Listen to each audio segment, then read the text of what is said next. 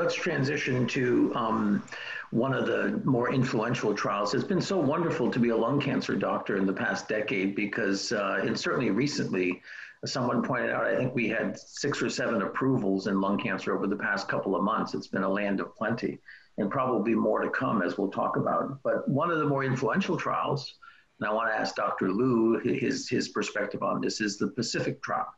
You know, after we've we had kind of reached a plateau in terms of what we could achieve for cure rates and survival in, in uh, the chemo, concurrent chemoradiotherapy world, we saw Pacific come along um, and really change the standard of care. Uh, give us your perspective on that, and then and then you know, do do you think it's been adopted at the community level? Are most people doing it, and and and that sort of thing?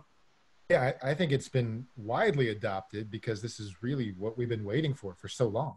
As a reminder, the Pacific trial was a, a randomized phase three trial for patients with unresectable stage three non-small cell lung cancer.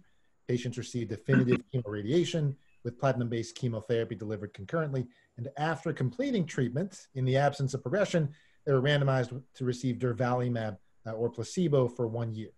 Uh, what we saw initially was a, a, pretty profound improvement in PFS, and at World Lung in 2018, we saw that that did translate to an OS benefit.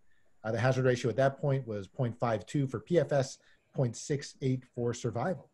Uh, what we saw in the past year was more maturity. And with more follow up, we saw that survival benefit persists. We don't see a dropping of that tail, that hazard ratio 0.69, a consistent benefit with delivery of durvalumab. We saw a median survival of 29 months with placebo, not reached with durvalumab, but the three-year survival rate uh, was 57%. Um, and I, I, think it's been embraced by, by all of us. This is a space where we deliver a fairly toxic treatment. Chemoradiation is one of the tougher treatments that, that I have to, to coach patients through. And the hope with that treatment is to deliver a cure. But we know that for the majority of patients, we don't achieve that. And, and this gives the potential. The addition of immunotherapy consolidation gives patients the potential for long term benefit, uh, long term survival. And I think at first there was some concern about safety. I think that's largely been quelled. Uh, it's, it's a safe drug to give. We don't see very high rates of pneumonitis. There were some who were reluctant to get rid of consolidation chemotherapy, maybe some on this uh, call right now um, and who instead are maybe giving that as induction therapy. Uh, but now we're, we're very comfortable using durvalumab, and it's it's become a clear standard. One of the, uh, I saw a recent piece of data to suggest, you know, in the trial design of Pacific, uh, we had, you know, 26 doses or, you know, a year of treatment. Uh, but at least some recent uh, market figures suggest that the average patient doesn't get nearly a year of treatment. And so, how important is that to, to, to you to think that you, you got to push them through and get the full year in?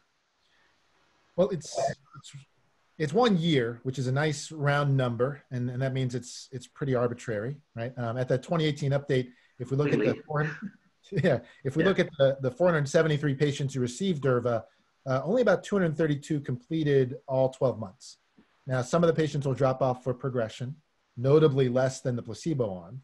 And, and some patients uh, will stop due to toxicity. Now, uh, those patients may still derive benefit from Durva, just may not need to continue therapy. So my general approach is to go for a year, uh, but certainly in the face of toxicity, uh, if I coach patients through uh, toxicity resolves, I, am probably unlikely to re-challenge someone because uh, it may not be critical to finish that year. So Roy, uh, any reason to check PD-L1 status in the consideration in this setting? Well, we do, and but normally that will be the PD-L1, you know, at the diagnosis and not after the chemoradiation. So all bets are off to what's going on in the tumor microenvironment. We tend to use it on patients regardless of PD-L1 status. There were some data, I, I think, early on that suggested, you know, lesser effects in low PD-L1, um, though um, you know, we're, we're, we're pretty much using it in, in all, all groups. Yeah, and, and, and we'll, we'll eventually get to the ADAURA trial in this discussion, but that's certainly going to push more frequent molecular testing in early stage disease. Right, right now, we don't really have a defined reason to do molecular testing in stage three, but it's often done. And so you know that people may have a driver. And, and does that influence your use of immunotherapy after chemoradiotherapy, given the questionable uh, data we have, for instance, in an EGFR mutant positive patient? Um, yeah, I, it, it, might. Although, if you look at the uh, Pacific trial, there were a, a reasonable number of patients, you know, on the order of 10% or so. 6%, I think, yeah. That had EGFR mutations, and that subgroup, albeit small, did well. Um, and uh, so I wouldn't avoid it, though I think we're, we're moving towards a new trial where we'll probably molecularly profile stage three patients. And then based on the results of ADAURA, there's a trial called LAURA. And LAURA is going to be using osimertinib in, in that sort of uh, stage three uh, chemoradiation post setting. Think that might be a very nice thing to do as well. Same same concerns, you know, the worry about ILD and, and other issues and the effect of uh, an EGFR inhibitor plus uh, an IO agent. But you know, working out some of those you know timings, I think that would be a very nice thing to study in the future. So, so it, it changed practice, and, and I think I, I agree with you, Dr. Liu. I think uh, people are enthusiastic about it. Everyone loves immunotherapy now nowadays.